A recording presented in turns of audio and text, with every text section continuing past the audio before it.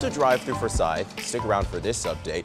We actually told you about some of the updates coming to Montpelier. The city started a construction a couple of months ago. However, one resident in the area says a new problem popped up since they started in August.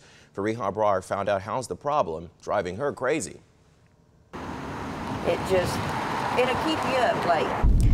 If you're in Forsyth, brace yourself before you start driving on Montpelier. And if you hit it hard enough, does undercar damage or hubcaps. Not only has Karen Gray heard it all, now she's seen it all too. I heard the noise night before last. I got up yesterday morning to take kids to school, and it was there. At her grandkids' house on Montpelier, It sounds like somebody's crashing. Gray's grumbling about the gravel and the pothole it's supposed to fill. I mean, that does damage to cars, tires especially, and they're not cheap to get fixed. For four years, she's loved visiting her daughter's home, but now she's hitting a bump in the road. I don't know if they're widening it for the school or what they're getting ready to do, but I know they're doing some construction down through here.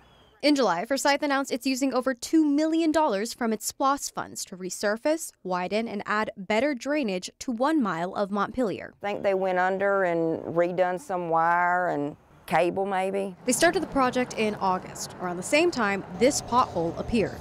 The houses sit close to the road, so you can hear noise. Some people know that it's there and they slow down, but some people don't know it's there. And it, those that don't know it's there are loud.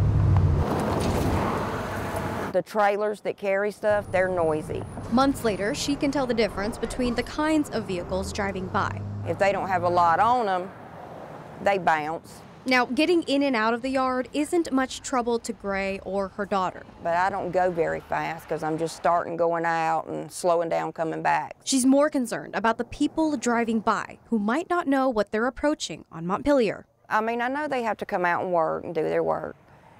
It's just the more cars that drive over it, the more the gravel and stuff gets knocked out. It just needs to be filled more often or something a little more permanent. Reporting in Forsyth, Fariha Brar, 13 WMAZ News.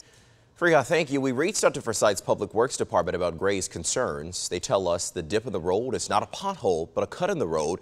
They say it developed because the utilities company realized water, gas lines, and pipes, as well as power lines, were pinpointed at incorrect locations when they started construction.